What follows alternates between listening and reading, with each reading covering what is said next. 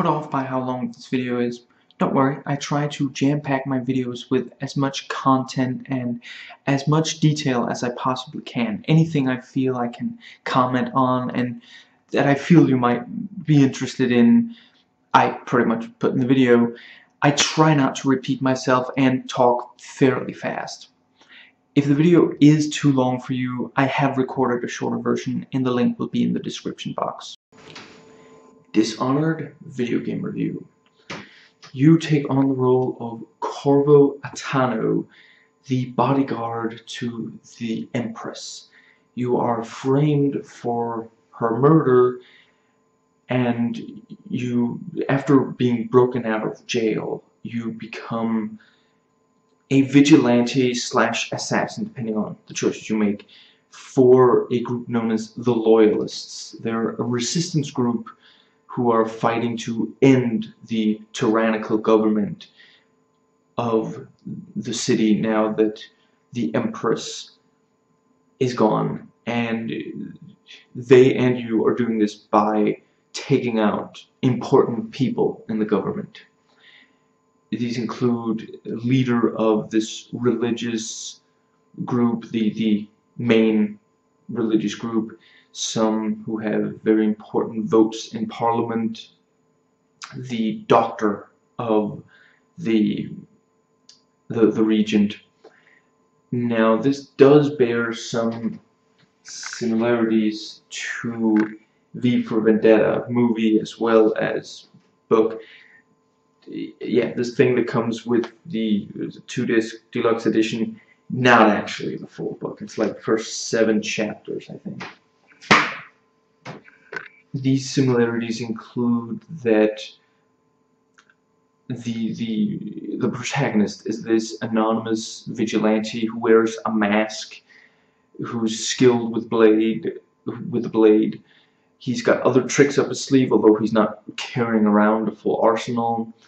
He's trying to force regime change through stopping important people in government, and thus and and the whole thing the whole thing takes place in a dictatorial alternate reality alternate timeline Britain. Now there are of course also major differences. Corvo hardly ever speaks and certainly we never hear him speak. And he does have a group to support him and there are various fantasy elements. Now it has already been noted by others that the plot is pretty shallow and while the whole divine right thing was big when this where where this game was set you are trying to you know put a 10 year old kid on the throne. The the empress's daughter Emily Kaldwin you're, you're trying to find her and yeah, basically she's supposed to take over. Yeah, that's again, I, I it, it fits for the setting, but it still is a little odd to to us. And although the part of the idea here is that you are reclaiming your honor because you were framed, yeah, you don't necessarily feel like you're reclaiming your honor. Certainly you're getting some revenge on the people who, you know, yeah, some, some of the people you take out. They didn't exactly not know that you were being framed. Let's, let's just go with that. And frankly, I didn't really care what happened.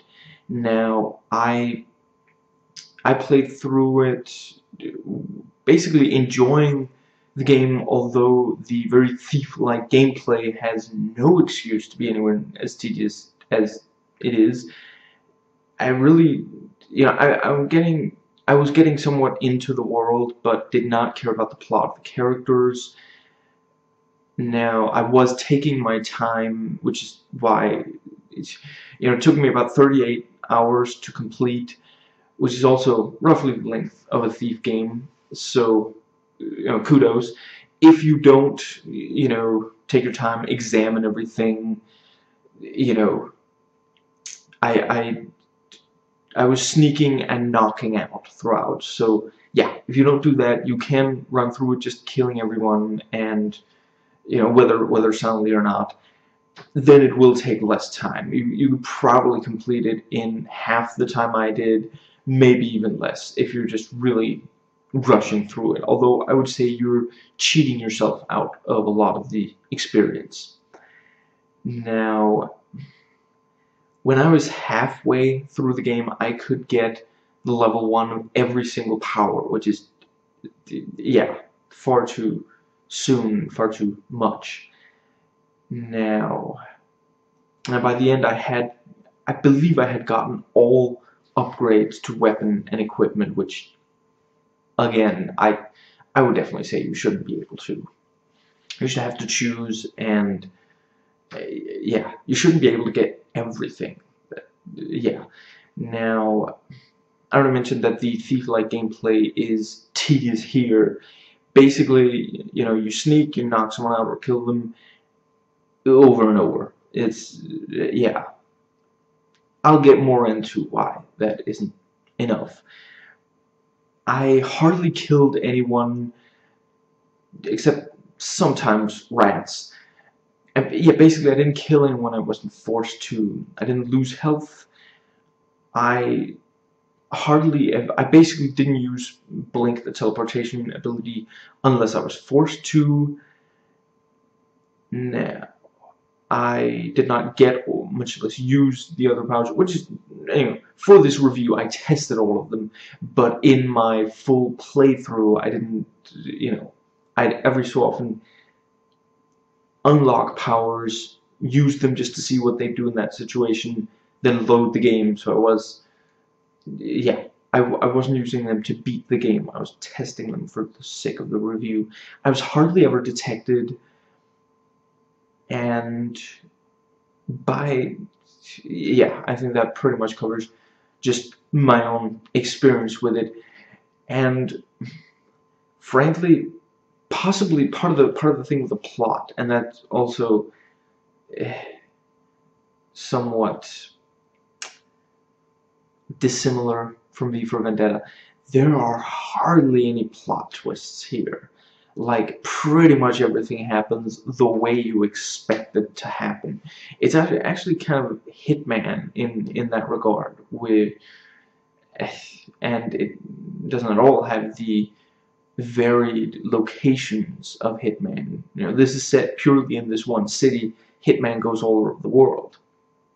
And you know, Thief 1 also has much more varied locations because that world is much more you know here again here it's all in the city thief especially the first one a lot of it takes place outside of the city and there are various very different settings outside of the city. Now, yes, and by the end of the game, I could get level 2 in about half the powers, which is, is a lot better than with the upgrades. That does mean you have to choose some. Now, this takes place in the industrial, plague-ridden city of Dunwall, with a Victorian look and some really cool designs. The yeah, this this mix of Victorian and industrial and yeah, you know, you have large machines that like you know early industrial people could pr pretty much fall into one of these and be ground up you know and at the same time this Victorian, you know, upper class kind of thing. And you can really tell that Dunwall is succumbing to the plague. Like, one of the first missions you're told, as, as just backstory, half of the city has died from the plague, or, or is plague-ridden at least. Don't remember if they're already dead, but they're they're so far along that they, they can't be saved and the other half is fighting for control of what's left. And you really get that sense. Like, there are not that many people on the streets.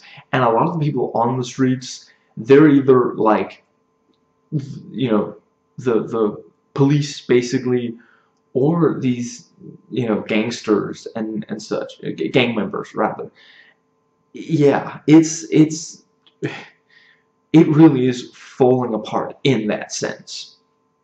And there are a lot of like closed off blocked off areas where it's like yeah you know they no one is working there anymore. Maybe there there's a real risk of plague in there you know various yeah now the ending is very abrupt and it doesn't feel that much like it matters what choices you made. There are three endings and they are far too similar. And it's it's basically the you know the the thing of what happened next with you know you it's it's practically just stills with text of like you know he went on to do this and this and then that. Yeah now this is I believe the first game I've played by Bethesda and Arcane. now, the world is already hinted at is very dystopian. I did not, I, I am not reviewing the DLC, I have not played the DLC, which really annoys the achievement chaser in me because half of the achievements, roughly half of the achievements, are for the DLC. Now,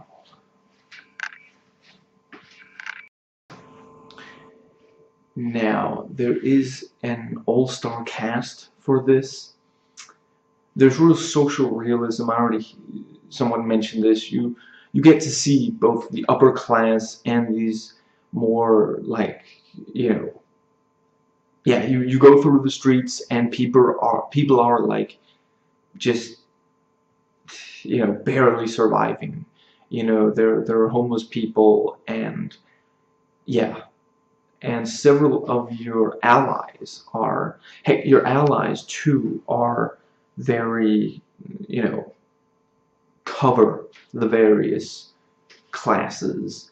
You know, you're working with, you know, an, an admiral, a lord, yeah.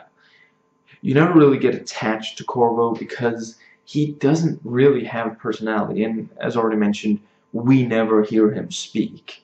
You you do get like dialogue options and the like over the course of the game, and you know, people are going to say, well, you know, you, you choose what person he is and such.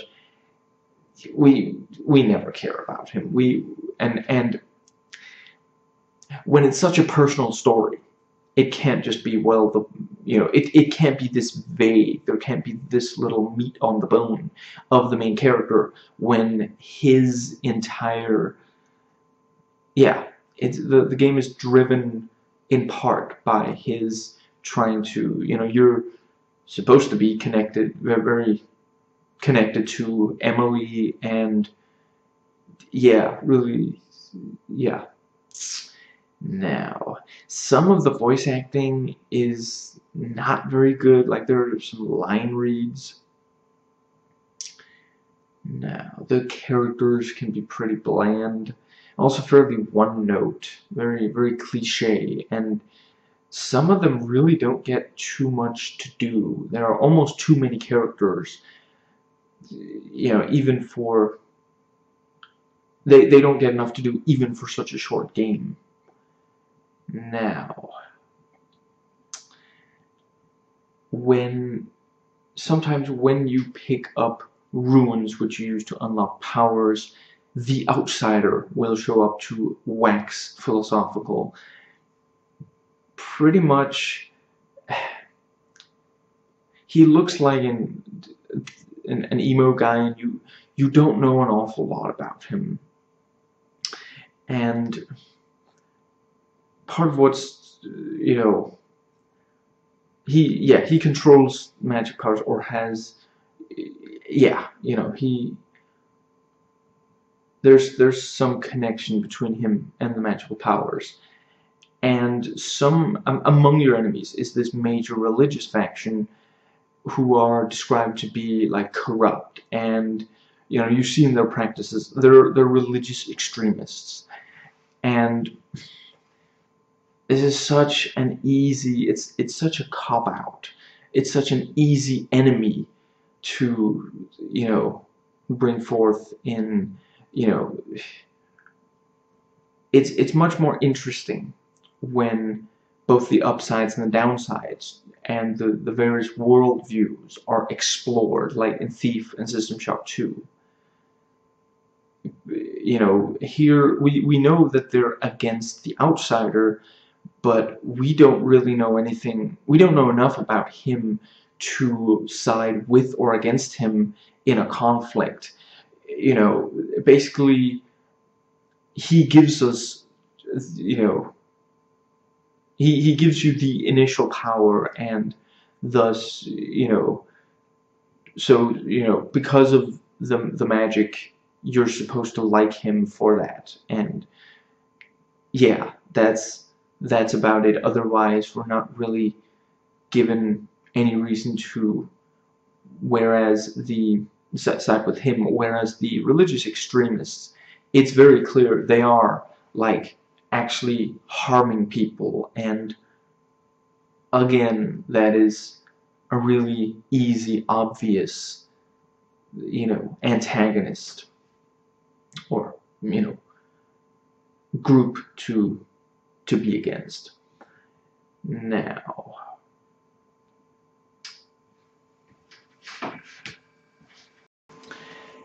you can climb and jump from chains. You can't swing on them, but the they're, they're used well. Basically, you know, climb whether you're climbing up or down and jumping to or from, you know, getting on or off it without jumping, it all works really well. Now, you can jump and vault, and they're both quite smooth sometimes you'll get a prompt when you can vault, but not always. And yeah, you, you can vault even without the prompt. Now, some enemies use tripwires, which you, if you see them before, you know, you, you don't have to walk, you know, yeah, you don't have to walk around them or something, you can safely trigger them and then, you know, some of them will have like arrows which you can then steal. So, yeah, just to rub it in. You you can swim, but you you know you do have to be aware that some fish will bite you. Now, the the weapon wheel is very good, very fast and smooth, and that's very important because you know if you if you get a lot of different ammo types and powers, you're gonna need the weapon wheel, and yeah, you know they're, they're plain and simple. There aren't enough if if you you can't put each of them to a key. I do wish, at least as far as I can tell, you couldn't choose to assign them to the the quick slots, which you can in Deus Ex. I'm gonna try not to to you know, swoon too much over Deus Ex and Thief in in this video. I'm gonna try. Now this has emergent gameplay. You can distract you know, walk, swim, rush or not, sneak or sprint. It's it's very much your choice. You know, try to avoid enemies, knock them out, kill them. You know, kill them openly or sneak up to them, kill them. Yeah, and there's this chaos system where the game adapts to how you're playing it. Basically, if you're sneaking around and only knocking people out, that leads to low chaos and you know there won't be you know guards won't increase in numbers nor will the plague whereas high chaos you know if you're killing everyone yeah it's that's gonna make the plague spread and that that makes a lot of sense it's um, it's a really cool way to make it you know to, to make the game harder for the player and to really have them affect the game world. Because really the more people that die the more corpses the rats have to feast on the more the rats will spread and they are carrying the plague so yeah and I suppose that is for that. Now you don't have a crouch key which is really yeah you really should have. It's it's basically entirely contextual. If you approach say a table you can hide under tables. You know when you get close enough he will crouch and go under the table because Corvo cannot hold his liquor to save his life and that's it you know you can't like crouch behind crates or such. When you press sneak, you know, it's, you know, it, it toggles. Possibly also possible to, there are a number of options in this game, so that's, that's nice and, you know, you can really play around with that to suit your playstyle. But, but yeah, for, for me it toggled, and it makes you walk a little less, like, you know, it, it, you're, you're a head shorter or something, but that's about it. And of course, you know, you you walk slower and your footsteps make less noise and such. Although this still Thief also didn't get around to. This still doesn't let you land silently. You know, I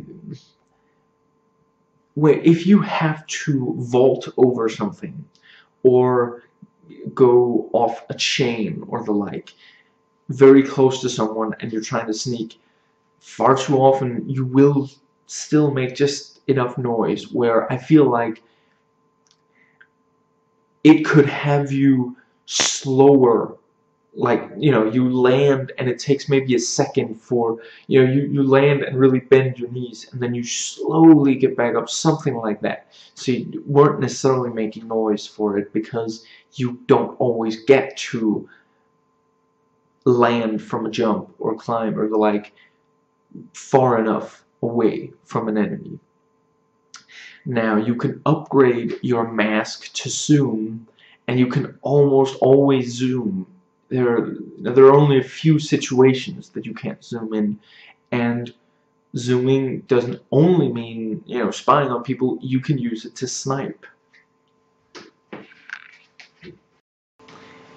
Now, for some reason, your mask doesn't scare off NPCs, know, pl plague survivors and the like often.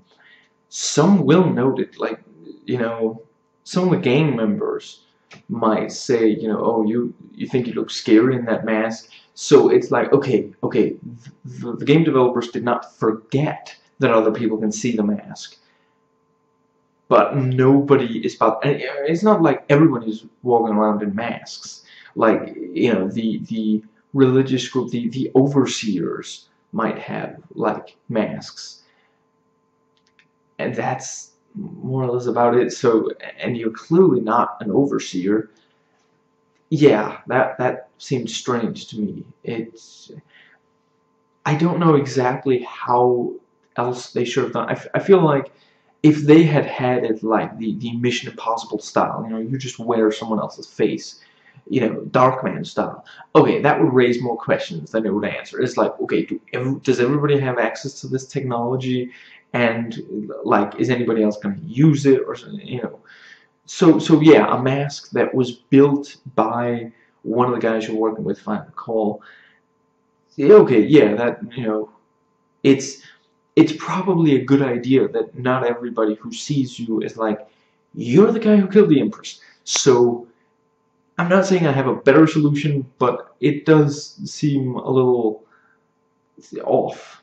You know, just maybe at least some of them should react by like, who are you? Are you going to kill me? Like, you know, it doesn't exactly invite trust when somebody is wearing a full face metal mask although it does make a cool cover.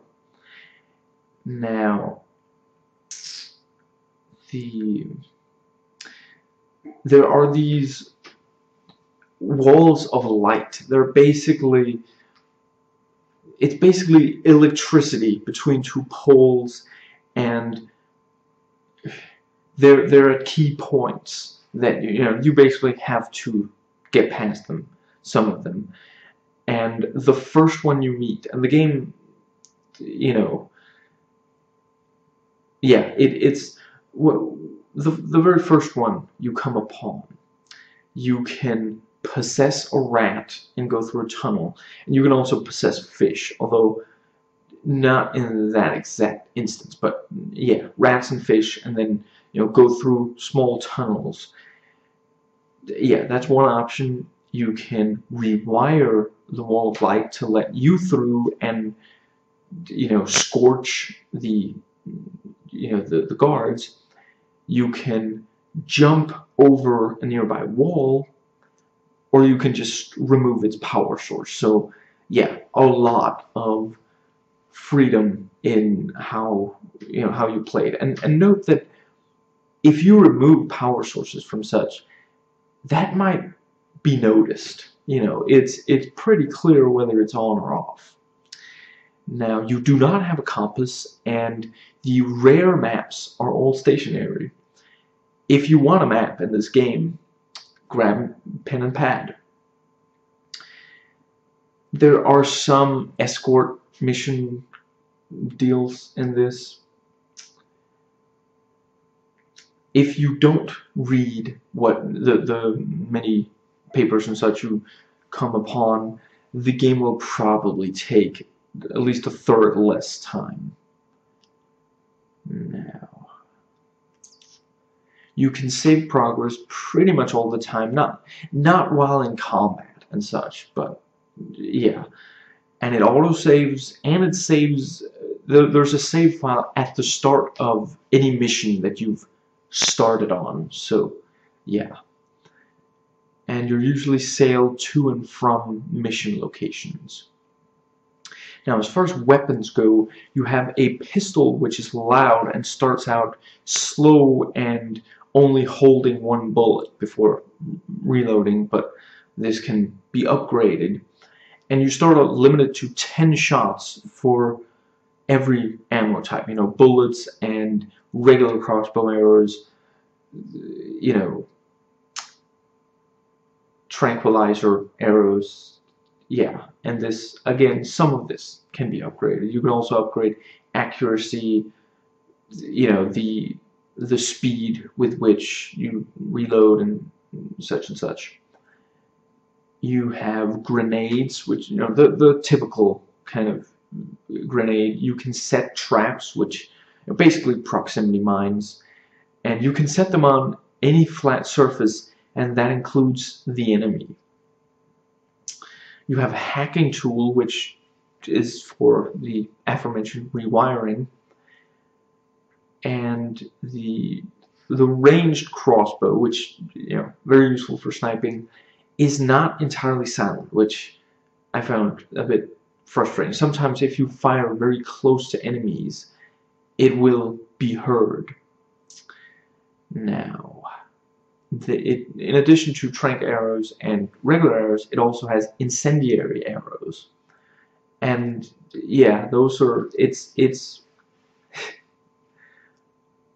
it's very cool to see an enemy, you know, engulfed in flames from that. Now, you do pretty that that is pretty much what you're limited to though of weapons and equipment and you start with pretty much all of those. So, you know, there isn't really anything to look forward to except for the upgrades. And yeah, it just it shouldn't give you that much right from the start. Now, you cannot sell ammo and such.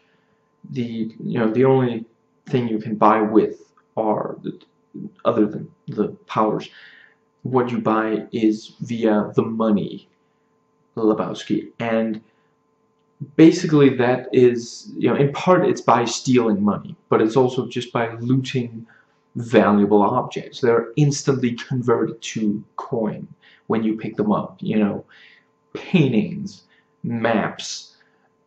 I think you know feathers of you know a certain animal. Yeah. Now,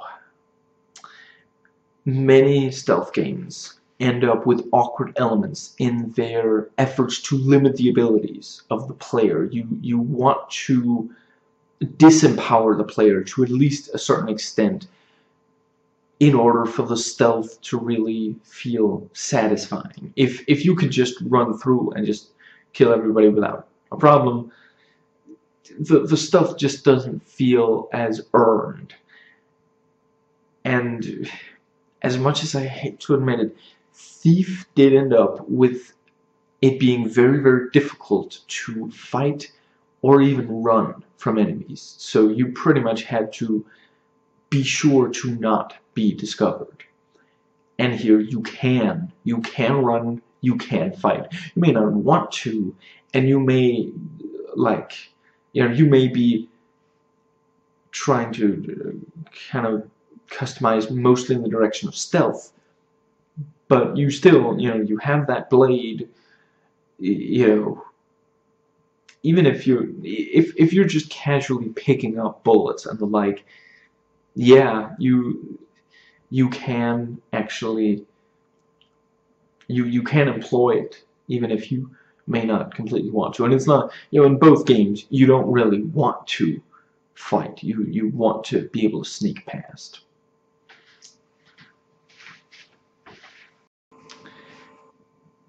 Now, there are too few stealth options in spite of the tranquilizing arrows.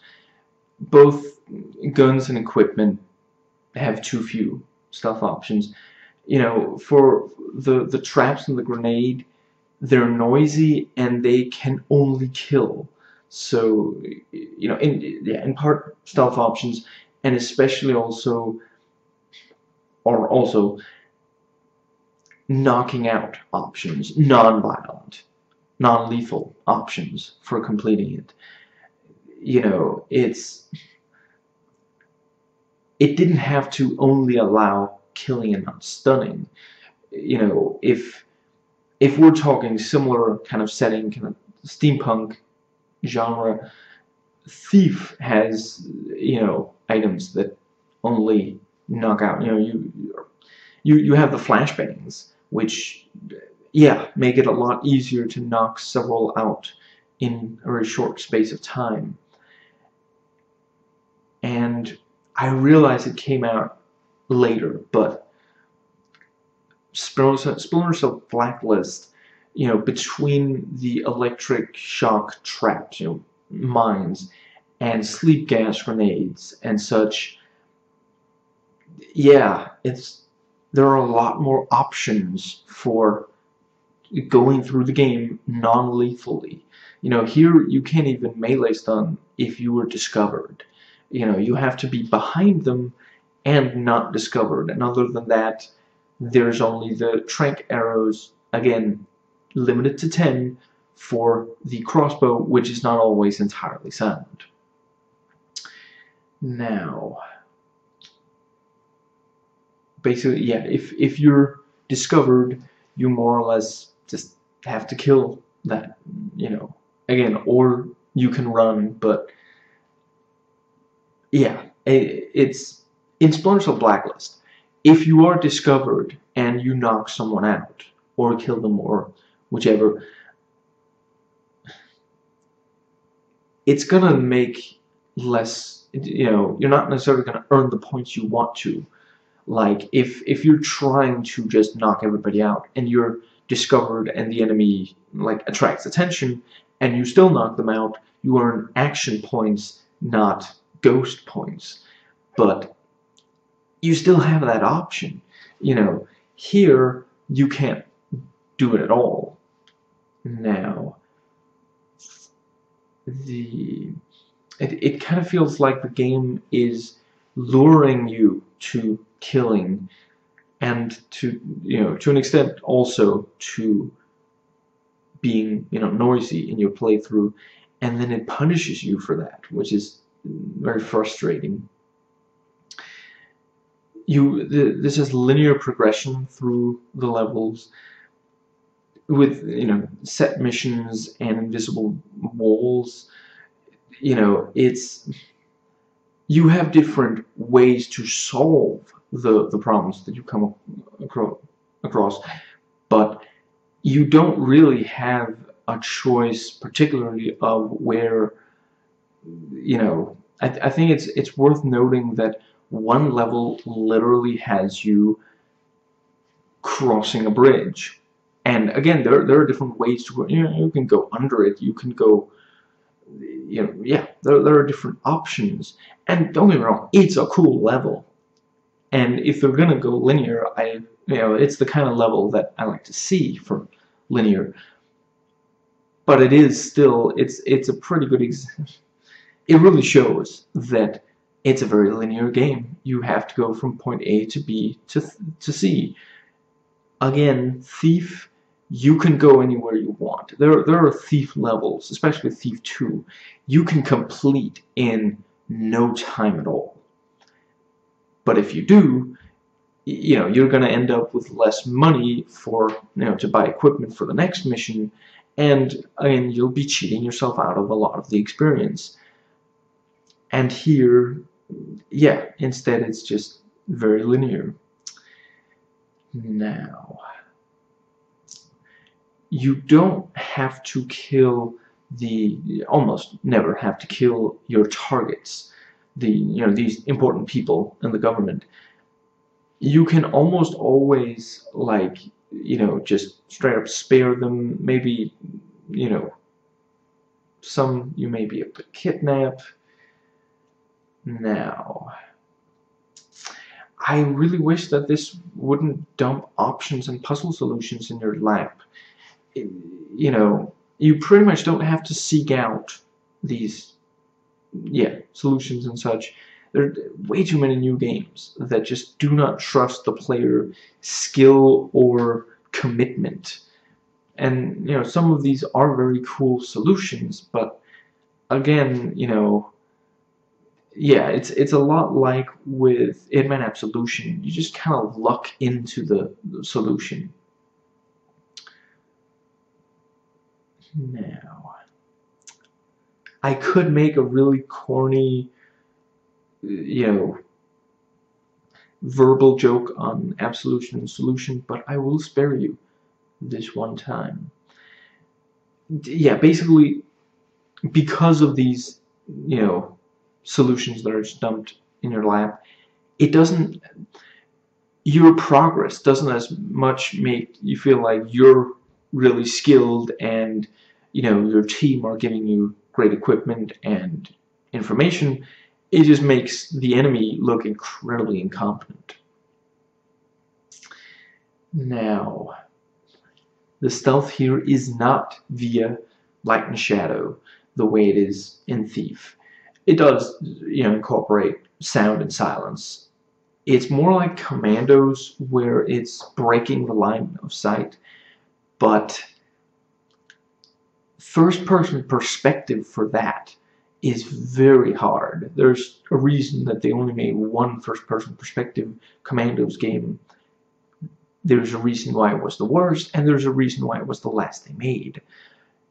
Just when you have bird's eye view, and you can, you know, for one thing, you can see all the enemies just straight up. And then there's the ability to check their line of sight at any time. It's still challenging because they're all watching each other. Here, a lot of them might be watching each other and you don't really get, I mean, there's, there's a power to see their line of sight, but even with that, and you really shouldn't have to use something like that just to make it, you know, possible to to get through. And it can, yeah, it can be really frustratingly difficult. You know, you don't know the patrol paths going in. This is, you know, the enemy's turf, and at any point an enemy could round a corner and that's it. Where, again, in Thief, it's, it's because it's based on angles. In Thief, it's not based on angles. When you're in the dark, as long as the enemy doesn't bump into you, you're hidden. Here, you can be, you know, you can be hiding behind a crate and there might be like two enemies on the other side and you're like straight in the middle between where they might see you and then someone else comes walking around and suddenly the crate that was a great hiding place is now completely useless and you have to back away and just yeah it the the the stealth is only made even more frustrating by the very inconsistent AI where sometimes they have no peripheral vision. Sometimes they can see you from a dozen meters away even if you're in the dark. Yeah it's now. The, the, the power that you can use uh, dark sight also works as night vision and thermal vision as far as night vision the darkness in this game I found that either you know basically you adjust the brightness either it's as dark as the, the game tells you it should be, and then there are areas where you can't see a thing. You're, you're bumping into enemies without having seen them. Or they're spotting you, even though you're both in equal darkness. Or you turn it up so much that you can actually see things, and then suddenly there's very little darkness left, and it's very obviously like, you know, yeah, just, yeah, I, I don't quite know what what happened there. And as far as night vision goes, it's not that effective of night vision. It's still it'll still leave things very dark. And again, you shouldn't have to get a power just for that. You know, when there's literally an achievement for completing game without any other powers than blink. You know, not even unlocking them. So yeah, if yeah, you, you pretty much shouldn't have to get that power. It's also, if you just want to use your runes for other things, yeah. And I feel like they, they could just give you other options, like a candle that you could only temporarily, like, you know, a bunch of games will let you have, like, flares. You know, maybe a flare, maybe a lit candle, and then they could add that that attracts enemy attention. So you'll want to use it where you're sure you're not being seen. You know, there are times where you're crawling through ruins of buildings and it's like there are no guards for a while around here. I'm just trying to find my way. It's dark. Use a flare. You know, that'd be nice. I also, for some reason, this does not allow peeking over things. So again, you can be hiding keeping in mind again, you don't have a crouch button, so it's not like just uncrouching. And even if you do, you're now, you know, risking being seen because even if you're in the dark, the enemy might see you because of line of sight.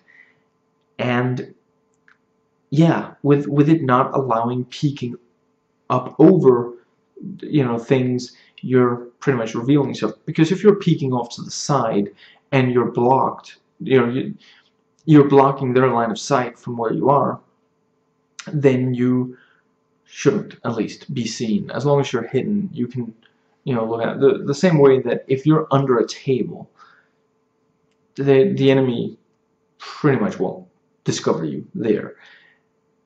And from there you can see, but yeah. Now, whether guards are patrolling or stationary, they don't make enough noise, and they certainly don't make noise often enough. Like, you can be eavesdropping using the, you know, the zoom, or not. You don't have to use the zoom for all eavesdropping if it's a matter of distance, of course. If you zoom, the volume will also increase relative to your zoom you can do that for hearing guards from afar. But that's useless unless you know where the guard already is. You know, again, like you're behind a crate, you're, you know, zooming left and like, okay, there's a guard over there, you can hear him. but then a guard comes from the right, again, crosses that corner, and then he sees you. And this just didn't, again, this is something that Thief did amazingly, and I'm, I'm really trying not to, not to praise Thief. I have videos where I praise Thief, so this is not for that. Yeah, basically, you have to be able to tell where they are. Again, not, you know, without having to use Dark Sight. Now, and you also you can't necessarily see from their body language if they're about to move or they're going to stand still how they're going to move you know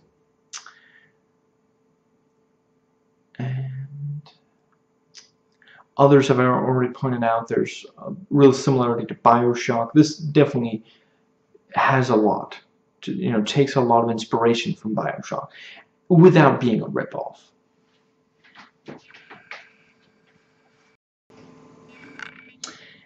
Now, between missions, you'll go to the Hound Pits pub, where you can talk with your allies, get briefings, you know, buy upgrades and the like. And you can also buy extra ammo. Now, the score is very unsettling, very effective. This has very consistent vision. Everything is really about the plague, the city's history, the surrounding, you know, cities and areas and such. You know, the, the overseers, everything about the world very much, yeah, just works in, in unison.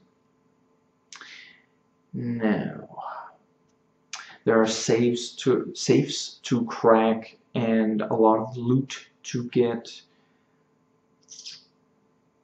This is a PC port and you can see you always have you know, when when you have things out if you hold down the use key you can hide your weapons and such but when you have anything out in hand you have the blade in one hand and a gun uh, you know a power you know, something else in the other hand, and you press, you know, left click for one, right click for the other.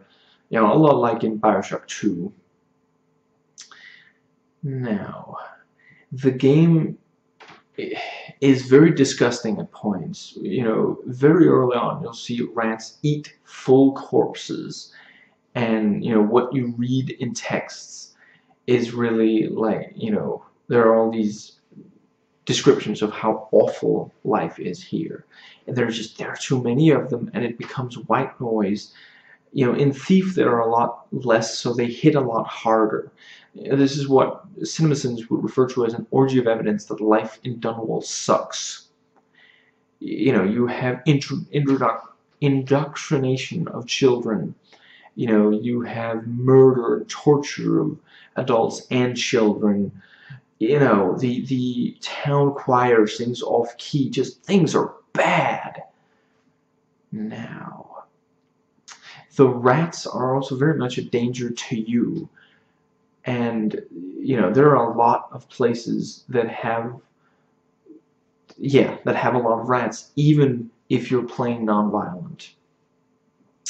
Although it'll, it'll be more if you are and it's it's very creepy to be hounded by a pack of rats or a mischief for that matter. Now, some of what you read or listen to is stored. I think most of it is.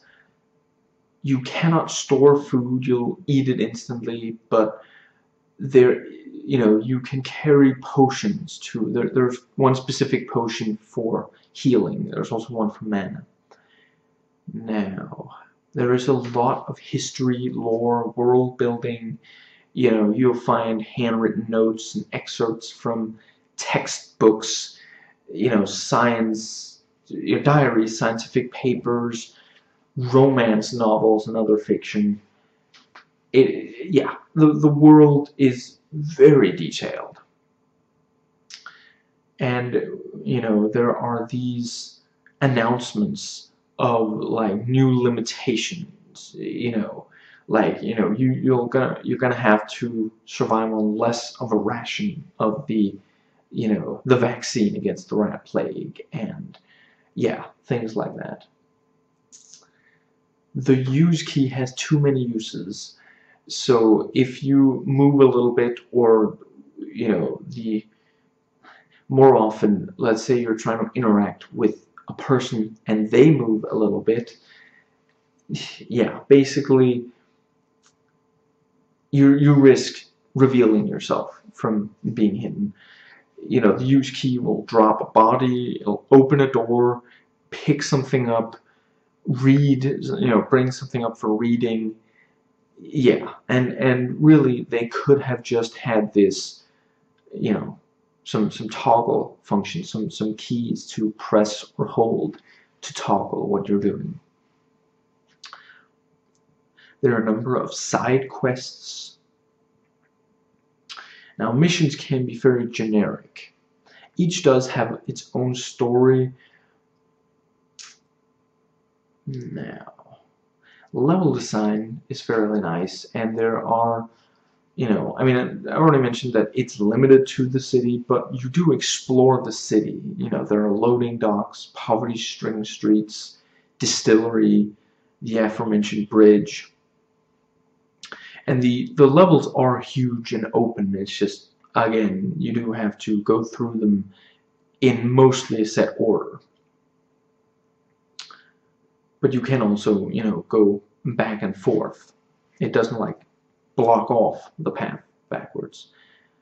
You can go on rooftops and gangways to, you know, you can you can many times you can sneak above the enemy.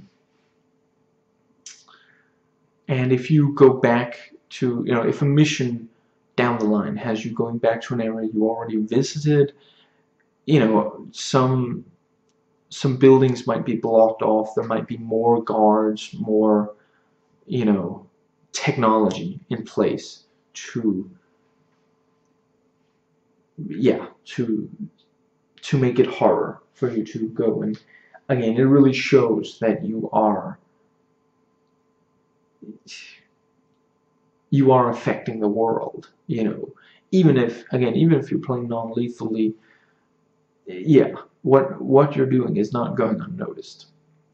Now, there are four difficulty settings affecting how much potions give you, how much damage you take, the, the AI, but it, even on the hardest difficulty setting, it can be pretty easy, you know.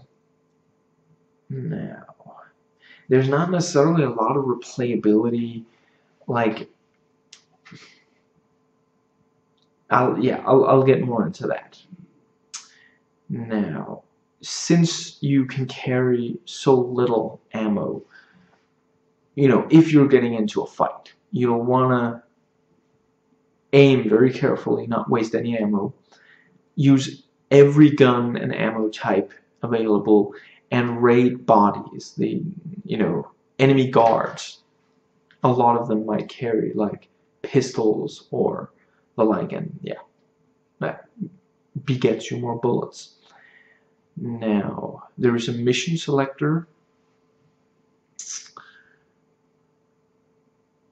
Although it does not allow for like difficulties you know if you're actually never mind. I think you can change the difficulty setting from the menu now but it doesn't allow you to, you know, you can't go back to like mission one and have everything you had, you know, much later. You, you know, you'll be going back to what you had at that time of weapons, equipment, and powers and such.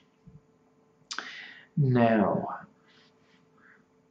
when you are, you know, fighting, you can strike with the blade, you can block, you can shoot, all of this without having to swap weapons. So that makes you know so yeah fighting is very natural and just yeah very smooth. Now if you block at just the right time the enemy might get slightly off balance and then you can like insta kill them. And there are also times where you might lock blades with an enemy and you know have to really mash the key. Now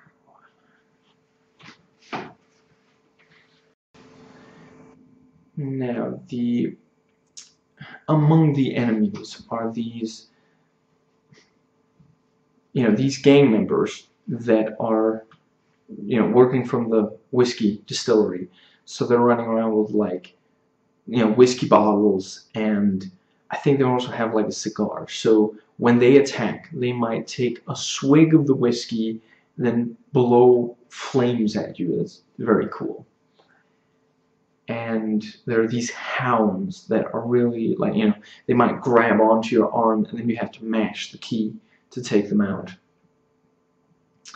And these weepers this is an especially cool and creepy concept. These are the people who are almost dead from the plague. Like they're you know they're they're just barely there still you know mentally speaking. And like you know and they will attack you much like rage zombies. They will come at you grab you and like vomit blood and drool you know, saliva onto your face and yeah this is really cool and again really follows this thing of the plague eh, yeah it's it's a really yeah kudos now. And some of your enemies just might have magic powers as well. There are these acid-spitting plants too. And I already mentioned the wall of light. There is something called the arc light, which is essentially a Tesla coil. Yeah, it's very, very cool. And, and again, befitting, you know, this kind of steampunk kind of thing and rotating towers with with light that you know searchlight now and then there are these stilt wearing they're called tall boys. They're basically human beings with these individual pieces of armor. You know about a meter long and you know, 10 20 centimeters wide that they hold up to you know defend themselves. And they're firing these incendiary ammos also. And yeah. And the the tall boys the wall of light and the arc light all have these canisters of processed tanks of processed whale oil that power them. And with the two buildings you can as mentioned before remove them to disable it. You can also at any time you you yeah these tanks it's it's oil and yeah it's explosive if you throw one far enough it'll explode if you fire on it it'll explode and these tall boys they're carrying tanks on their back of this so yeah, you can shoot those to make very short work of them. Although once noticed, that's going to be a little more difficult, of course. So, yeah, you know, you can basically, like, let's say there's an arc light, and you have to get past it, and there are maybe, like, a couple of guards as well. You find the whale oil tank that, that powers it, take it out, okay, you just completely disabled the arc light, throw it at the enemy, to blow up, you just completely turn the tables on who has the control in the situation. So very, very cool. Now, the the powers and equipment are, you know, you don't have to use them. They're basically bonuses, and they're really, you know, very badass to use. There are points of the game where there's too little guidance for the player and you might have trouble finding your way. Now, the powers are teleportation, possession, the, the vision one. Summoning Rats, Freezing Time, and the Wind Push, which is not entirely unlike telekinesis, but yeah. You're, you're given Blink, but the rest you have to unlock. Or rather, the rest you, you choose whether or not to unlock and use.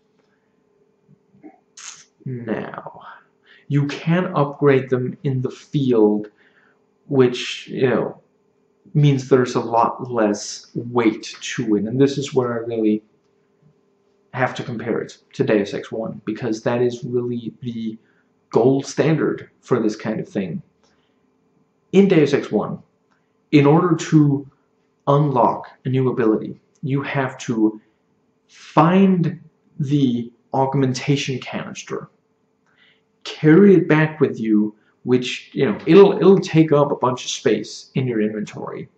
And this also doesn't have an inventory. You don't have to limit how many powers or how many, you know, the ammo and such. You know, you have a max carry capacity for the individual ammo types, but that's it. When you've gotten back, you then have to find a medical bottle, which they're not, they're easy enough to come by once you've gotten back, but you may not find one in the mission. Then you are forced to choose between the two different powers that that canister can unlock. Then you get the, you know, the ability and then if you want to upgrade that thing, you have to find upgrade canisters, which are completely different from augmentation canisters. And this also means that throughout the game, how many, you know, which abilities you're able to unlock very much depends on how far along in the game you are. So, yeah, that that has weight to it, you know. Now, you can basically have all the powers unlocked at once and you can use them most of the time even underwater now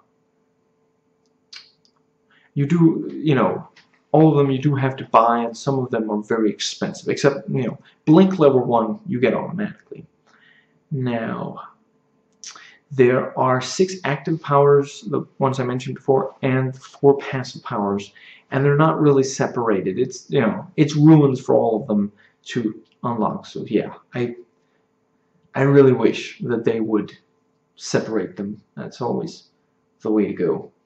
Again, more weight to it that way. Now, again, you, you know the powers you can fill with in the field the the weapon upgrading and you know weapon and equipment upgrading and yeah has to be purely between missions and although sometimes in missions you can buy ammo during the mission and and you're gonna of course find more yeah some of especially some of the rarer ammo you also have to buy between the missions now there is no undoing choices, which I greatly appreciate. The Yeah, when you've made a choice to unlock a power, that's it. You can't just sell it again to, yeah. Now, summoning rats can hide a body or even kill an enemy, although do note that if there are too many enemies and they're too, you know, they have two big guns and such, you can't just summon rats and expect it to go, you know, you might yourself have to attack as well.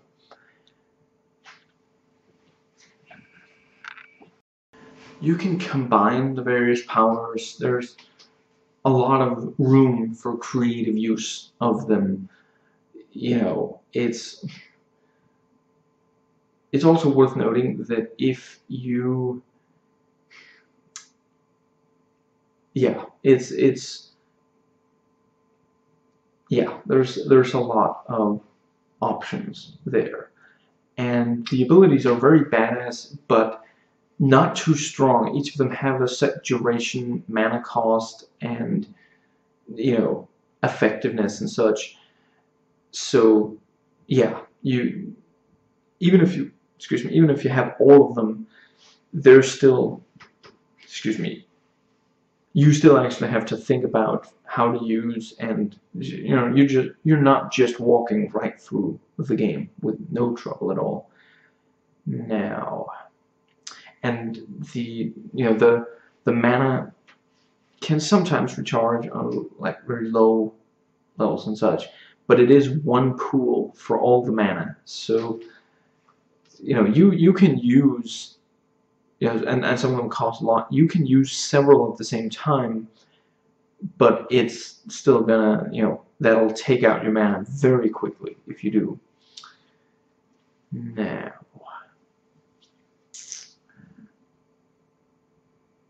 about a fifth of, into the game, I could already buy level one of the most expensive power. So, yeah, that again two, and and there are two levels to each. I'm not sure I mentioned that already. When you use blink, you can hold it down to like make it percent. You know, you can just right click to blink, or you can hold it down to see where you'd go, and then you know move the mouse to press. You know, and and move Corvo to pick exactly where you want. You can even do that from midair. And if you choose, you know, if you don't want to do it, you can just press the use key to cancel it.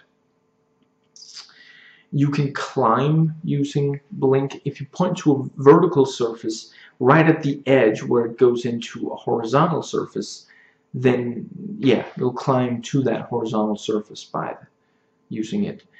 It does take about half a second to, you know, activate. So you can't just like, you know, so you, you will fall after doing it if you just teleport to midair. So you can't like use it to just like keep yourself in the air constantly. Now, the heart is, you know, yeah, it's, it's basically, it's kept alive by like magic or something, you know. But yeah, it, it is or was a human heart and it has this really cool effect of beating faster and lighting up when the enemy closes in on you. Oh wait, that's not it. When you point to a room where it's pretty unnecessary for it to beat and light up because it already gives you a meter direction, meter counter direction. Yeah, I, I don't know quite they quite why they didn't go the other way on that. And you can prompt it to say things, and these will underline slash spell out the meaning behind certain groups and settings and such. And it will say things sometimes like, I have not been granted the gift of death, misery everywhere, which just goes to show you can take the heart out of the emo, you can't take the emo out of the heart. Now, powers do not, no, none of the powers rule out the others, nor are you limited to having a certain number. You know, you can get all of them. Again, less weight to them.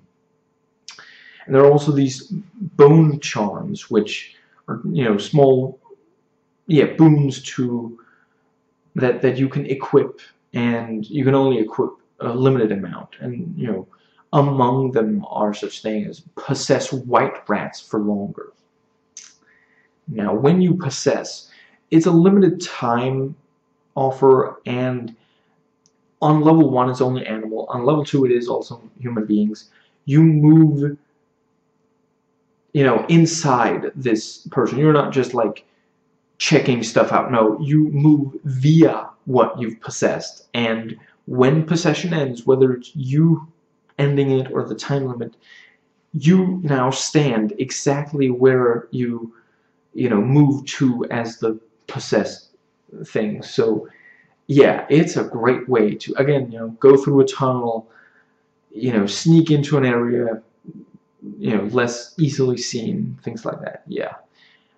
Although, do also note that if you die while possessed, you, you know, Corvo dies. So, again, you know, limitations and making it, yeah, making it more interesting like that.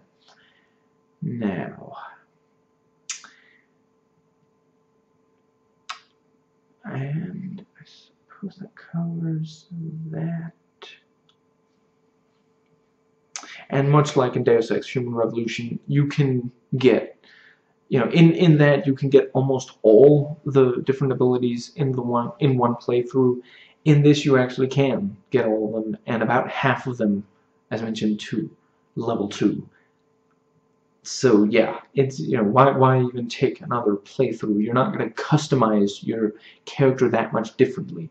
It's just well, okay, now I want to try you know using this ability more, or now I want to try going for low chaos or high chaos. It's just yeah, there's there's not as much replayability as there easily could be.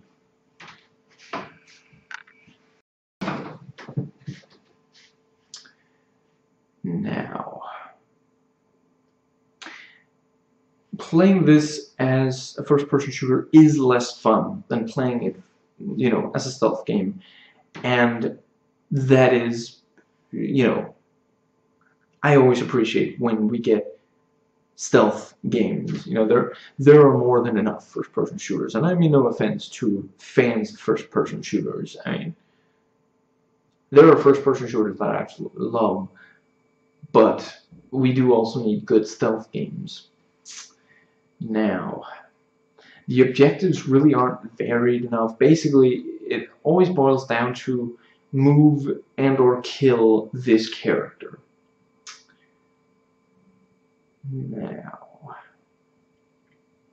I want to mention that the settings can be fairly varied, just always within the city of Dunwall which I may not have mentioned, is surrounded by water. So it's, you know, it is an island that, you know, the whole thing takes place on an island. And there are a lot of really cool sights too, you know, when you're looking out over the water and, you know, when you're seeing buildings off in the distance, sometimes not even on the, you know, you know, too far away to even swim to. So yeah, now, as already mentioned, there are too few of the stealth elements that actually work, and too few in general. This does not have a gray stealth states. so if you're seen, you were seen. You know, the enemy will never completely forget. Now, if you're above an enemy and you like jump down and attack, you can do a drop attack if you press the attack button before landing and it will break the, the fall, it'll melee kill. Yeah, it's pretty cool. And again, I do wish that it allowed for, you know, knocking out instead of, but yeah, when you, when you use melee and you're choosing whether to knock out or kill, knocking out is slower than yeah and you can only do it from behind. So that's also something worth you know, you know messy or slow is is basically the yeah it also it's too bad that there's only the one version of attacking from behind you know if if you're attacking with the blade you know you might be slitting a throat you might be stabbing you know, there, there are a bunch of different attacks. With stealth, again, either you fire a tranq dart uh, arrow, or you're just, you know, what's it called, choking them out, you know, the, yeah, until they, until they're knocked out. I do quite like, you have to hold down the, the, the button for choking them out, if you let go before the, the choking is done, the guy will like knock his head back to, to get free from you and then attack. You know, I, that's, yeah, that's, that's cool. I like that. Especially because the first person perspective, so you're really seeing their, you know, the back of their head smacking into your face. You know, it, yeah, it feels like you're, they're literally smacking into your face. So, now, and when you, also a very nice thing, when you've knocked someone out like that, immediately after you'll be prompted to hold down the use key if you want to carry them. You don't have to. You can leave them where they are if you're sure, you know, if, if you want to for whatever reason. But you can also just immediately go into carrying. Yeah, that's that's very nice. Instead of having to deal with that after having already, yeah. Now, when you've completed a level, you'll be told your current level of chaos overall, how many enemies you killed in it, how many bodies were found, whether you like ghosted, you know, went undetected. I do kind of wish that it also had a counter for how many you knocked out. Yeah, just again, I, I realize that that already gives you low chaos, but still. Now, I think I already mentioned if you're behind cover, you're leaning left or right, you are still safe. You can peek through keyholes also, you know, before or instead of, you know, opening the door. When you're on stairs, that's one of the times where the sight line, line of sight is at its worst because if your head is peeking just up over the stairs. You know, you can maybe just barely see that there's an enemy there, if there is, but he'll spot you immediately. And if you see an enemy coming from further up, you may have to awkwardly back back down from, you know, via the stairs. And every step he takes, you have to especially make faster. And you can't just turn tail and run because then you'll be getting up and much more visible. So, yeah, you can usually see where to go, so sneaking there's the challenge. Really, you'll always be told, you can always see what the direct path is. The direct path may just be more costly. You know, it may require high-level magic, for example. Now, when you're moving a body, you know, you can drop or throw it. You can fire your, you know, a weapon while you're still doing it. For some reason, dropping it isn't always, you know, completely noiseless. I, I wish that, again, just make it take longer, you know, but if, yeah, I mean, that's, if I didn't care about noise, I would throw them. I care about not making noise, that's why I drop them. And that's, again, sometimes it will just make noise, and you just gave yourself away. So, yeah. Now, in order to take out guards, you may have to wait for them to lower their guard. And I suspect that their breaks for urination will break and ruinate them and we're not even talking about the kind of urination where you know Udo Kier returns and is really badass, and the mind control ability that was before loaned to basically one character is now on a vehicle, more infantry units, a defensive building, even a super weapon. I may have just gotten off topic. You can store bodies in trash cans and even hide yourself. This is a lot like Hitman Blood Money and Hitman Absolution in Blood Money, you you couldn't use the same box to do both, and it was also kind of limited. Always just yeah. In in Absolution, you know they do combine. You can hide or hide a body body in there. This came out so close to that, they probably just had the same idea. It wasn't a ripoff. But something that those two Hitman games do that this doesn't is give you a proper opening to look through. Again, it, here it, it opts for being more realistic, I suppose. You only have a tiny sliver to look through, so it's not very useful at all. Now, when you're picking up and, you know, if you're trying to pick something up for throwing, for distracting, you, you know, usually, or this will always be like, you know, glass cups, fine china, stuff like this, things that'll shatter, which means that you can see what they are from afar, you only get one use per, you know, throwable item for that, and it will be noisy. There's there's no subtle distracting. So very good choices there. You know, that is weight to an, an item. You know that that's weight to an aspect. Now, when you point to objects, you get an outline with text and a cursor indicating which it is.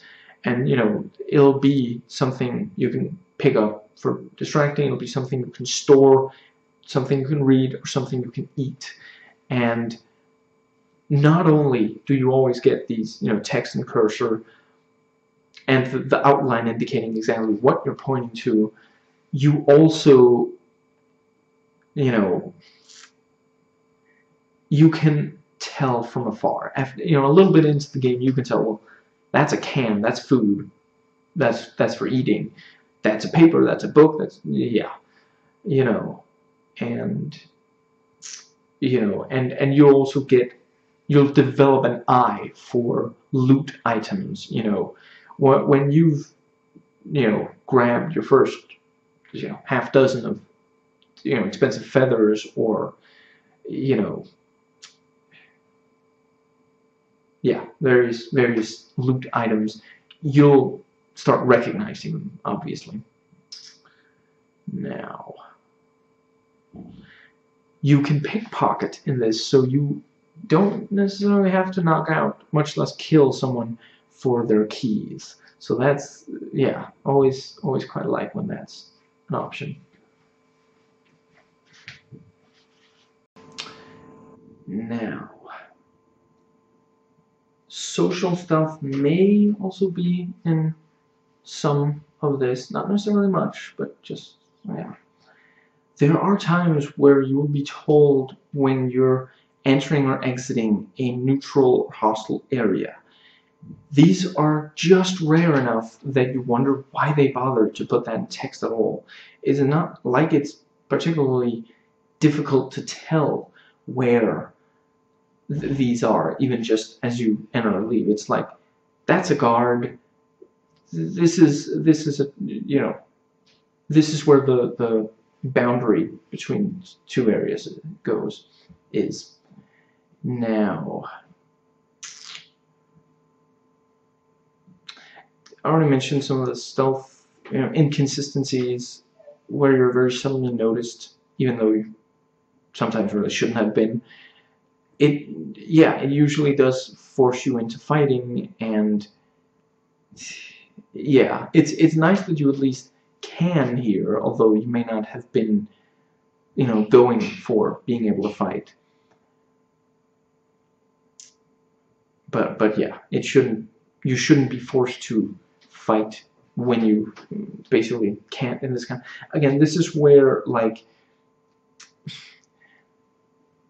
Hitman or Commandos, you may be able to, not so much Commandos, Hitman, you can just, you know, pull out the, you know, the most appropriate silenced weapon, you know, submachine gun, pistol, whichever, quickly take those out. You didn't completely lose, but here it's, you know, it's likely that it's going to make noise as you fight, and yeah, you just you know, it just wasted all that time you spent carefully sneaking. It is worth noting that in fights, the AI employs different tactics, countering your attacks, you know, attacking in different ways. Very nice. Now, when you, you know, load into a new area, it's not always safe. I mean, it.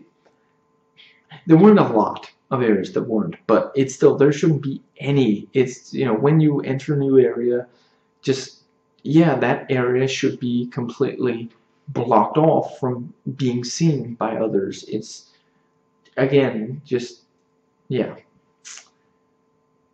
The, the stealth elements in this can be really frustrating. Now, the graphics are pretty nice. It's you know it's a good art style, and I I rather like that it it keeps to a first person perspective. everywhere except the very ending. Now, and they're you know yeah the the cutscenes are always almost always again in engine and you can usually move the camera again this goes for pretty much everything except the image. you can always move the camera but most of the time now I suppose that covers it I as for the powers and this I believe will be the closing thought I don't know why they weren't all again in my mind, they should all have been limited to activate between missions. That's where you get Blink, is between missions. If that, you know, if, if you were forced to only unlock a new one between missions, and then you got a Blink style tutorial for it, that I think would be really cool. Again, instead, you're having to use them out in the, yeah, and they may have really strong consequences where I don't know, I just feel like teleportation is not necessarily the most complex or the most difficult to figure out you know? And yeah if they had given you tutorial areas for the rest of them I think that would have been very interesting. But yes and in to sum up I guess the stuff can be a lot of fun albeit the gameplay gameplay can get very tedious. And there are definitely not enough there's not enough enough variety to the objectives. Overall not to the settings either.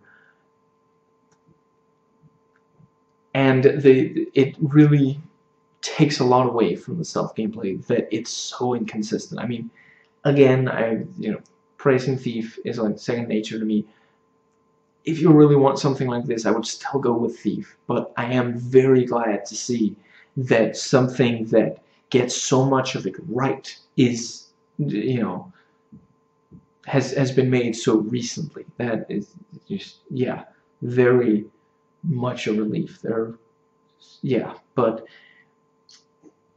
yeah. So so the stealth mechanics and outside of playing it stealthy, it's just not as much. It's, you're if you want a good first-person shooter with you know powers and such, I would go with Bioshock instead. You know, it just it is more. Yeah, that's that's actually also something I meant to say about the powers. Here, again, the the religious extremists, the overseers, are painted as the bad guys because they're so corrupt and things are really bad under, you know, when, when they have a lot of power. And again, you're, you're sent to take out the leader of them, and it's very clear he's very corrupt. And I'm not saying that corruption doesn't happen. I'm not saying religious extremism isn't a horrible thing, but not all religious institutions are extremist. And this doesn't set up properly, or not, it doesn't set up interestingly this sort of conflict between the outsider and this, you know, the, the outsider with, with the runes, with the bone charms, and then the overseers, you don't really get a sense of, again, thief, the pagans versus the hammer, the, Hammerites, you know, the pagans are chaotic and just nature and just completely unpredictable and you know natural. Whereas the Hammerites mm. are very strict, very disciplined, but they do also maintain order.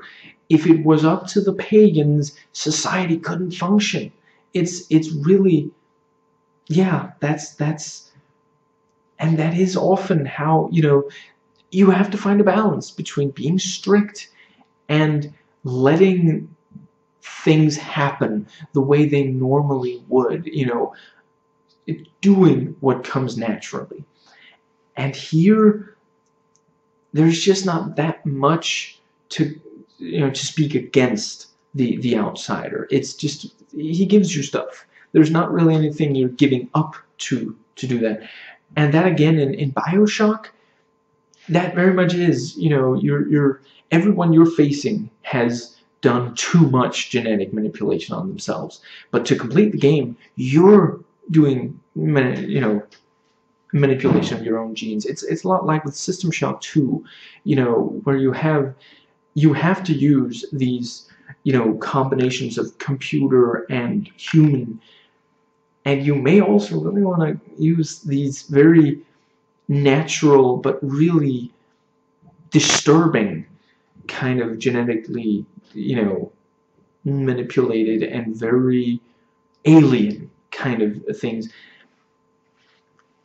And and yeah, in BioShock, a lot of these genetic manipulation, you can really see this is this is not natural. This is never mind not natural. This is kind this is this is sick stuff. You know, if if you're letting your arm become a swarm of bees and then it's that that is like I mean it's badass. It's awesome to use, but you're like that is not right. That a human arm is not supposed to do that.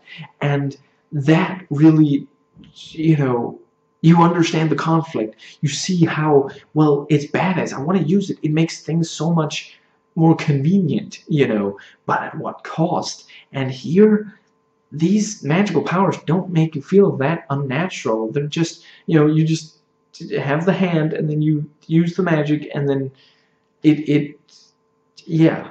And, and add to that, as far as I know at least, this game does not change, you know, the, the chaos is affected by whether or not you kill and the like, It's not based on how much or how little or whether or not you use magic.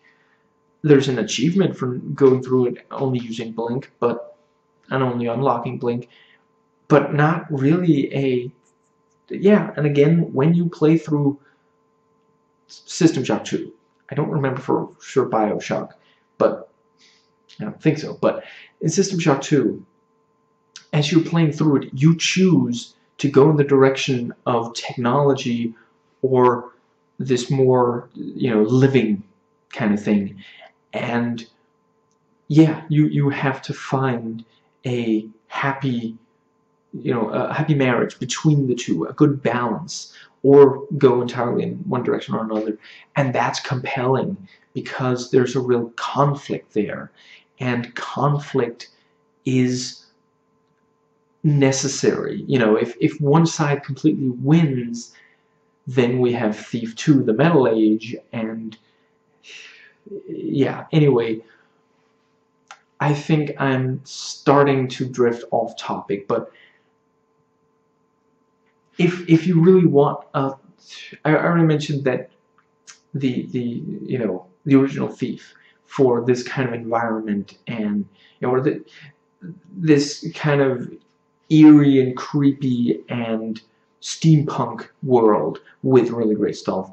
If you want a more recent one, I realized that it came out after this, but Splinter Cell Blacklist just does it better. You know, I got into the story, I got into the characters. Excuse me, the gameplay is a ton of fun, and you, you know, and you can play it completely stealthy or completely just blowing everything up and you actually kind of want to and you know it yeah it's it's fun to play either way and it's just so much more gratifying stealth because you have options and it usually does go the way that it you know it yeah the the better you are and the more you try to play it by you know really doing everything the the most effic efficient way and really just take out everybody or you know not at all you know things like that. Yeah it very much follows how you and how you played and again in this it just is a bit too easy regardless of you know non-lethal or violent yeah. Although it, it is you know the the fighting can be very challenging but again the game you know you to get the best ending and to not have to fight everything in your path you'll want to not fight. So yeah and I do believe that covers everything but yeah I mean still it's very interesting. It the the world, you know, this world built on processed whale oil is very compelling and if you know if you want thief style gameplay but you don't want to go back to thief yeah this this has that very very much and it is fairly open I will say that that again you know to, to contrast with Splinter Blacklist this actually does let you you know in, in Blacklist you're always getting to a new place and then doing something there. In this, you actually can choose completely different ways to get between areas and completely different solutions. Again, I just wish that it was more like Hitman Blood Money where you yourself have to figure out. You have to scope the place out and then see, okay, if I do this, uh, maybe where in this it just kind of dumps the solution. But still, well done game and there's a lot of really great stuff here. Please comment, thumbs up, and subscribe for more content.